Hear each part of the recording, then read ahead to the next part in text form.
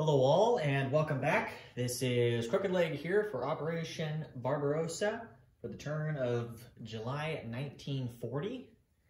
Uh, a couple of things have changed since we last talked. Uh, the U.S. is now officially at war with all of the Axis powers.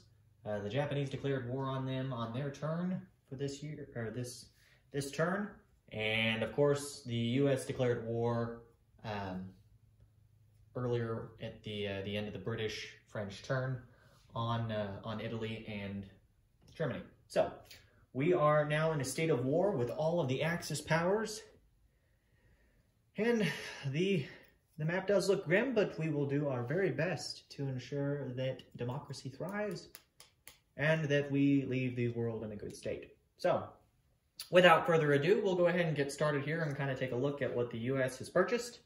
So the U.S. at the end of their last turn had $47. Of course, we'll bump to wartime income this turn. We did lose the Philippines, so that will reduce $2 off of our chart.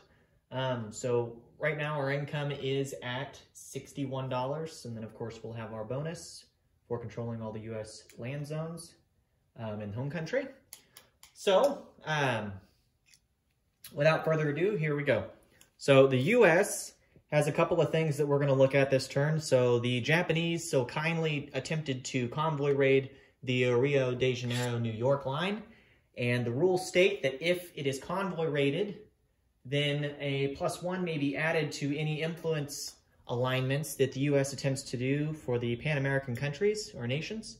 And we're going to attempt to influence Brazil for $3, and then we're also going to attempt to align uh, Mexico for $3. And so we need a four for each of those when we'll do our rolls. Um, it doesn't mention having to be a successful convoy raid. It just mentions being convoy raided. So we, we should get the plus one bonus. Uh, let me know, though, if uh, there's any disputes. Um, additionally, since the U.S. was declared war on last turn, uh, we now have an additional four infantry that are on our place units box. So those four infantry are right here. So that way we'll take those into account. And then of course we have our $47 that we're gonna spend this turn. We're spending the full $47. Um, and then the KMTF2. Um, so the KMT, the other $2 are just gonna buy a militia as usual. And then the United States is gonna do a couple of things. So we're spending $6 to do the influence of the Pan uh, American nations. And then we're spending $10 for two U.S. Special Infantry uh, Marine Corps units. So that's 16 total so far. $4, we're lend-leasing an artillery to the British, so that brings us to 20 We are going to spend $22, and we're buying two self-propelled artillery and two medium armor, so that's 22 six for each of the medium armor, and then $5 for each of the self-propelled, so that's 22 total there. So 22 plus 20 puts us at, at 42. And then we're going to spend the additional $5 and we're going to move our aircraft carrier from stage three to stage two on the production chart.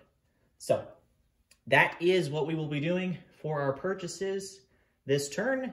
And now we will go ahead and do our tech rolls. So the United States has six tech rolls. And we are going to start off with, should have zoomed out here so you can see the whole area. Yep. Okay, so we're gonna get started and we're going to attempt to first roll a seven or higher for long range aircraft. And this will put us at stage four if we are successful. We got a nine. So long range aircraft is unlocked. So mark that here and then I'll update the chart. Okay, and then we are going to do a roll for wartime economy. So we need a seven or higher. We got an 11. So that will move up. I believe that that's just going to stage two. Yeah, stage two. Okay, then we're gonna do attack transports and we need an eight or higher. We got a 10. Okay, so that will move to stage three. And then improved construction, we need a seven or higher. And we got a 10. Boy, we're on a roll today. All right. Finally, we've had awful rolls all game. Now it's turning the tide a little bit here. Okay, do heavy bombers, and we need a nine or. And we got a, we got a 10. Okay. Sorry, sorry, Axis. I'm sure you're not happy with these tech rolls here, but uh, I have to say that this is impressive. Okay, so we're we're five for six so far. So let's see if we can get jet fighters at uh, stage three. We need an eight or higher, and we got a two. Okay, so we broke our streak, unfortunately, but nevertheless, a very, uh, very, very good tech roll for the United States. So, all right, so we've done that. We'll go ahead and do the two rolls for the um, for for Brazil and for Mexico. So for Brazil, we need a four or higher, or lower, excuse me, and we got a 12, so that's a miss. And then for Mexico, we need a four or lower, and we got a five, so we missed that as well. So neither one of those nations um, will technically be aligned this turn. And let me know in the comments whether or not it's technically rolled at the end of the US turn during the uh, place units phase, or if it's rolled uh, at the beginning during the production phase. So let me know in the comments, and uh, I'll adjust for next turn. Doesn't have an impact this turn, but it might next turn if, uh, if we do it again. Um, so that's done there. We're not going to place any units just yet because we do have a couple of uh, combats, or at least one that we're going to do, and then we'll have some non-combat, of course. So, over here for the United States, there's going to be two combats that are going to take place in the Pacific for the United States. Our first one is going to be a raid, convoy raid by this sub that's in Sea Zone 91 and it's going to move to Sea Zone 55. And so it is going to do a convoy raid there. So, and then our other combat move we are going to do is we are going to move the two submarines from Sea Zone 64 to Sea Zone, actually let me think here. Yeah, so here's what we're gonna do. We are going to move the two battleships, the three destroyers, and the two heavy cruisers from Sea Zone 29, and they're gonna move two Sea Zones from 64 and 68 into 68 and attack that light cruiser. So we'll do that real quick. And that should be all of the combats. And then uh, the other thing is we're going to bring this coastal sub in from 62. And it has one inc increased movement because of the submarine base. So it'll come in there as well. So we'll have one surprise attack there. So we'll do that. And then, let's see. So that's it over there. We don't have any combat that's going to take place on the Atlantic side at all this round, so we'll go ahead and do these rolls real quick. So first, let's do the convoy raid. Zoom out. All right, so the black die is going to be for the U.S. We get a plus two to our modifier because it's a sub, excuse me. So we got five plus two gives us seven. So let's see what the Japanese get. They don't have any modifiers, nothing unlocked. And they got two. So in total, we'll do five damage. And that line, it looks like, is worth $5. So we did the full amount of damage to that line. So that's done there. And then go ahead and get it set up there so you can see. And we'll bring this back over here. Down just so you can see the, the units that get placed. Okay, so we got the light cruiser. It's going to be defending at A5. And then for simplicity's sake and time's sake, I'm not going to worry about necessarily taking off the units. Like I said, there are three destroyers, one coastal sub, two heavy cruisers, and two battleships. So we'll just start with the coastal sub, and the coastal sub will attack at A2. So let's come back up here. Do our roll. So if we get A2, then it's immediately destroyed. We got a 12, so that misses. So now we'll do one regular round of combat. So we're going to do start with the two battleships, and they will attack at 8s. And of course we hit, so the light cruiser is eliminated. So let's roll for the light cruiser. The light cruiser is at a 5 or less. And it got a 10, so it misses, no hits. So no casualties for the U.S. attacking that light cruiser. The light cruiser is eliminated that was in Sea Zone 68? Yeah, Sea Zone 68. Okay. So now we will move on to non-combat for the U.S. There will be a combat for KMT, and I guess we'll go ahead and do that real quick. Um, so, a couple of things that's going to happen here. So the full KMT force, other than the militia, is going to move from Yunnan into Sichuan. So that means we are bringing in seven infantry, one mountain infantry, two AA guns, three artillery, and four cavalry into Sichuan. That is a mountain territory, so there will be a mountain penalty for the units attacking into it, and there is only one militia in the territory to defend. So, one thing to note, if there are 10s or higher rolls, so if I roll a 10 or higher for any KMT infantry or cavalry, they will retreat back to Yunnan.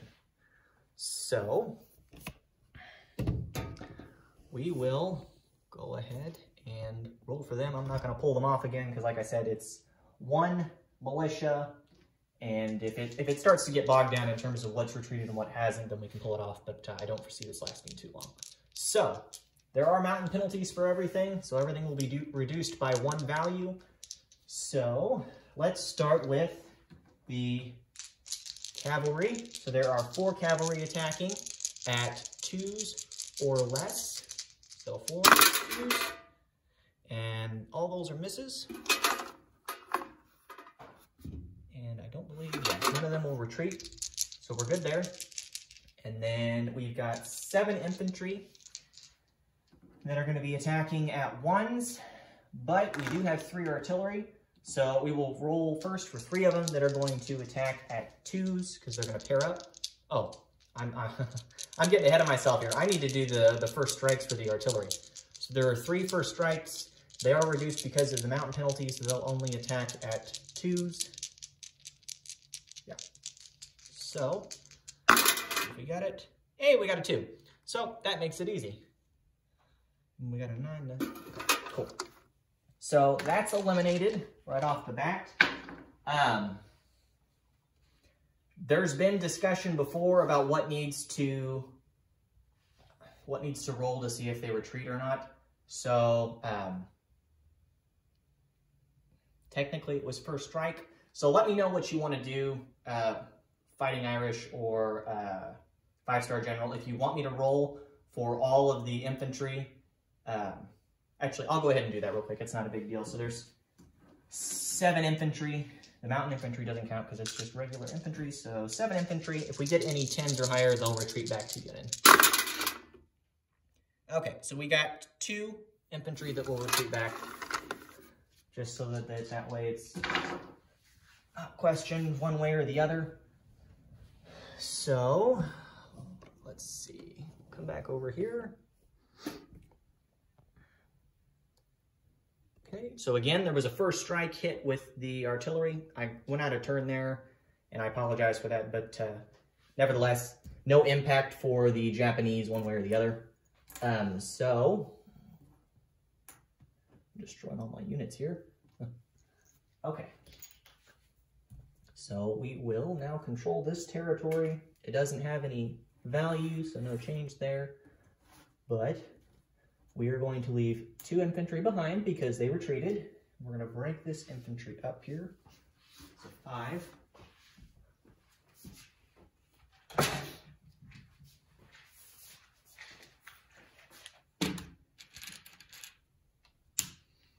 Get some chips. All right, so there will be five infantry that are moving in along with the two AA guns. There's five infantry. There's the one mountain infantry, and the four cavalry, and none of them retreated, so we're good there.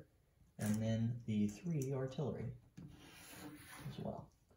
So we'll move them up.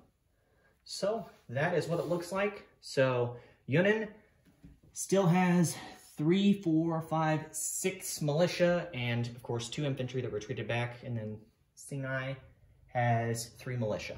So not a huge change there. There's high just so you can see. Um, so, so that's that there. um, we'll go ahead and finish off the KMT just so that that way it doesn't have to be messed with. We're still going to do non-combat moves for the U.S., but um, for this matter, it's not going to impact anything.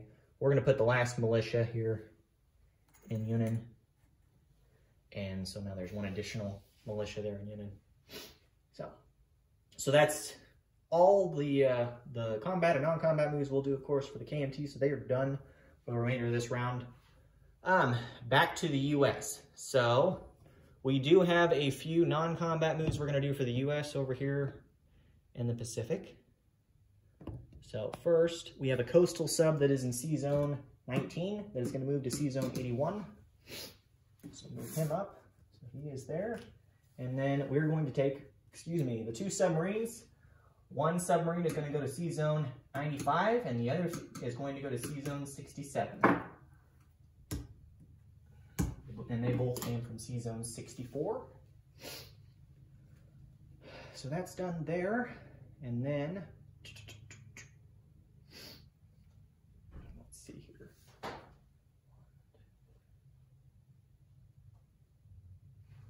Okay. So that is done there. The only other thing we're going to do is we will move the two transports in Sea Zone 29 down here. So those transports are done. So the U.S. is done for the most part over here. We are going to rail move. Actually, we're gonna we're gonna rail move the U.S. Marine Corps unit from San Francisco, and it is going to get placed in New York. So show that here in a minute, but it is now in New York. So strategic rail movement used there. And then we're going to move the two mountain infantry from the southwest United States into San Francisco. So there are now two mountain infantry and two regular infantry in total in San Francisco. So we are done there. And now let's move over to the Atlantic side. A couple of changes over here.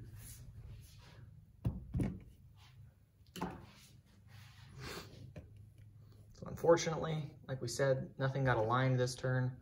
So we won't change anything in terms of Brazil or uh, Mexico.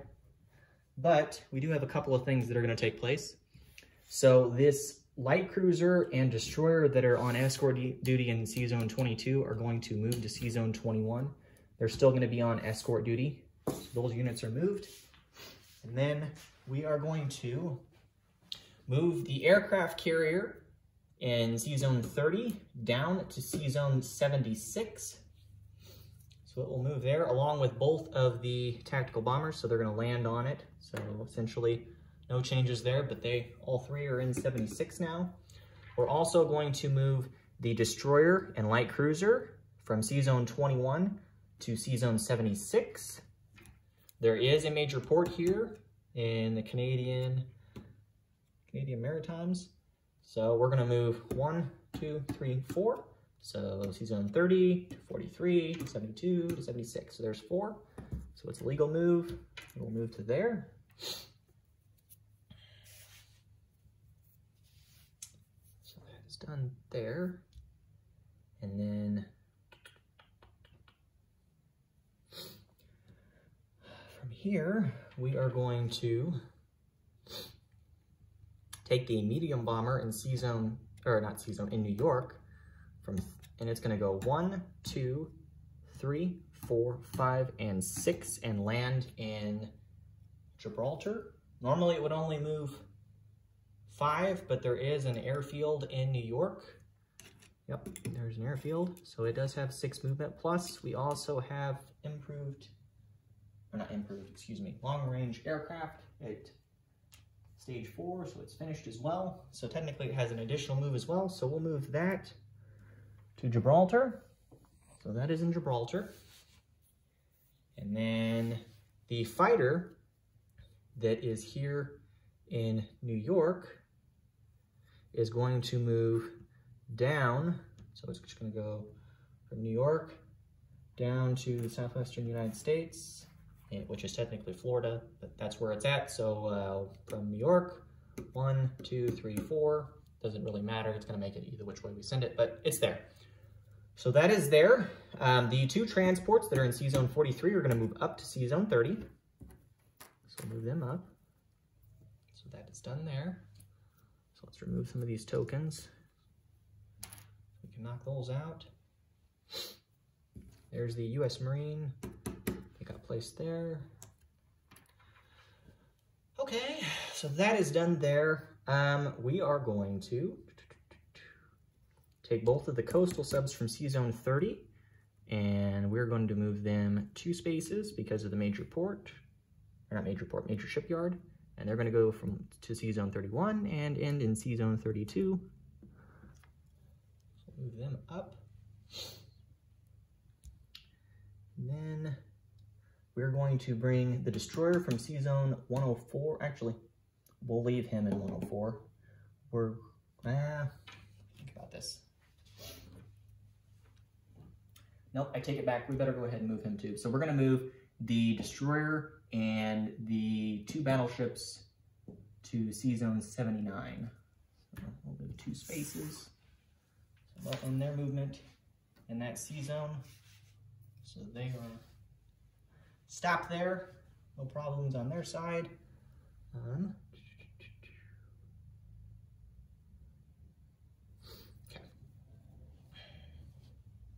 So we are done with the US there.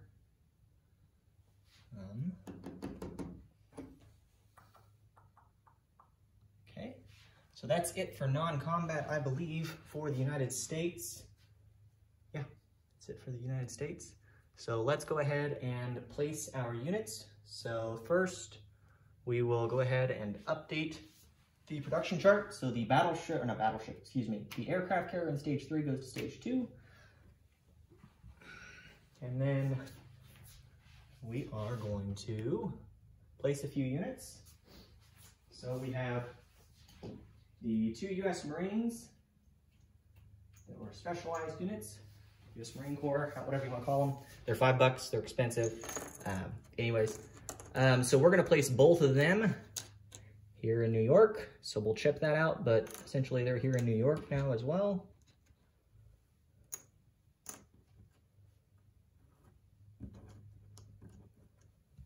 Okay, and then we have four infantry that we're going to place in New England. Well, nope, I take it back. Can't, we don't have that production power there. Um, we'll place them in the the northeast. Yeah, the northeast. So we have four there They're placed in the northeast. And then we have our two medium armor, along with our two self-propelled artillery. And we will place one of the self-propelled artillery here in New England.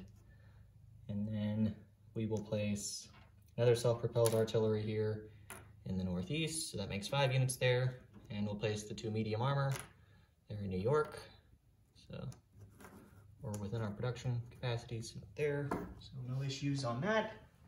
And then the only other item we have to place this turn would be the artillery that the U.S. lend-leased to the British, and that is going to be lend-leased to the British Midlands in there. So we'll put that there and I'll change it to the the British artillery. So that's done. Um, and then, of course, we'll go ahead and collect our income. So the KMT are down to a dollar. They don't collect any bonuses because the Burma Road is technically closed because Burma is now Japanese controlled. Um, so we do have just $1 this turn for the KMT. And then the US, they would normally have $63. They did lose the Philippines to the Japanese, so we go down to 61. And then, of course, we still get our $12 bonus for controlling all of the U.S. home country territories. So we will have $73 for the U.S. So again, a dollar for the KMT and $73 for the U.S. going into the next turn. And so that is it for this round for the U.S. Um, We have reliable sources that indicate that there is a conference taking place in Turkey by the Axis powers to discuss the strategy moving forward as they have done quite well in their campaign in the East, in the Far East, um, in the West. Just about everywhere they've done quite well this game, so uh, will be interesting to see where things move from here. But uh, that's on the agenda, is what my understanding is. One thing to note, there was a, a correction that needed to be made for the British for two aircraft that were on uh, map. Technically, they needed to come off of map before they could be used um, for map in another sea zone. So the medium bomber that got moved to 79 from 48 landed in Gibraltar instead. And then, so it's not on map. And then of course, the same thing for the fighter that was in 114. It is in, yeah, southern, I believe that's southern. Nope, southwest. Southwest Africa and is not in 115. So it is not in 115 on map. So both of them are landed. And then of course the British will do what they wish with them going into the next turn. But uh, I believe that covers it. So, like I said, if, uh, if you got any questions, drop them below. Uh, but otherwise, uh, that's it for the U.S. turn. So let's go ahead and just do a recap real quick of what units are in what territories and sea zones. So there are two coastal subs in Sea Zone 32.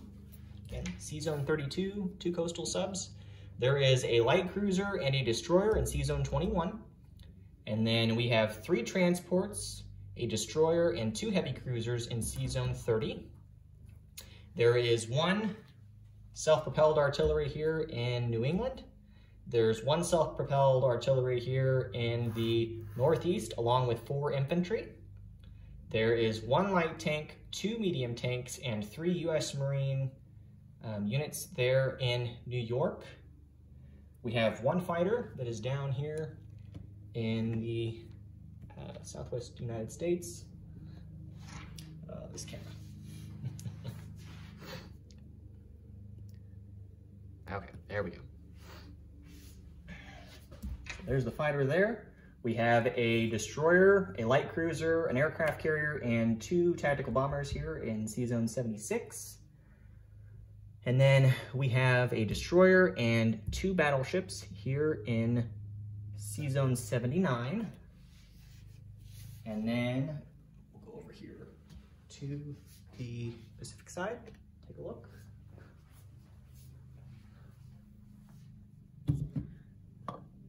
There's a coastal sub here in Sea Zone 18.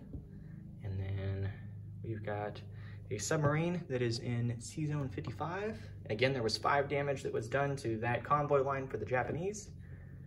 And then we have two U.S. infantry in San Francisco and two mountain infantry in San Francisco. We have two transports in Sea Zone 64. We have one submarine in Sea Zone 95, and we have another submarine here in Sea Zone 67.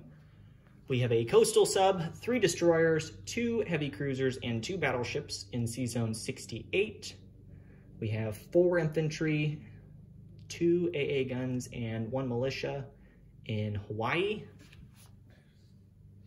And then that's it for the US. And then of course, as we discussed before, for the KMT, there are three militia in Singai.